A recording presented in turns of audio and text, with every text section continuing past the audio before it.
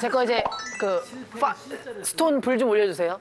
어 뭐야 또 뭐 뭐 뭘 네. 어. 스톤 불? 일단 저는 제가 마지막 하- 마지막에 한 이유가 있었는데 이제 뒤에 오는 것 때문에 그렇고 아 나다운 요리 일본 여행 갔었을 때 츠케멘 집을 가서 먹었는데 이거, 이거 아직 드, 드시면 아니, 아니 예. 보려고 상태를.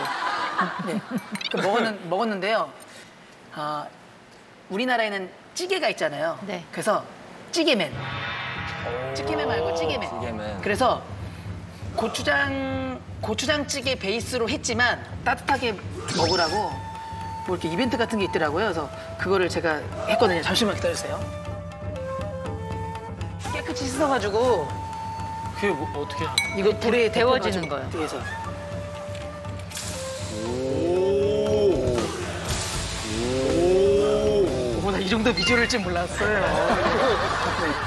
저도 되게 해주시는 주세요. 너무 맛있어 보이게 맛있겠다.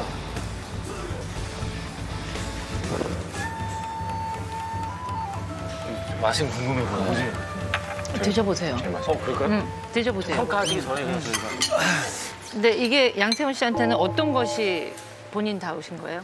제 좌우명이고 제가 제일 좋아하는 말이 저는 I can do it이라는 말을 굉장히 좋아하거든요. 난 할 수 있다. 그러니까 뭐 찌개맨을 할 수 있다?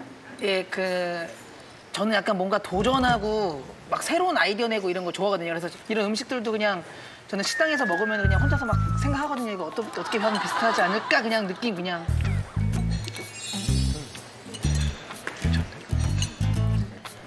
어, 괜찮은데? 칭찬해줘야 돼. 요리를 할 줄 아는 사람이에요. 제가 볼 때. 이 중에서. 그리고 새로운 것을 하는 게 재밌다. 거기에 대해서는 점수를 줄 만한 것 같아요. 그러면 1등을 발표할까요? 발표해야죠. 네. 음, 저는 아니라고 생각하면 될 텐데.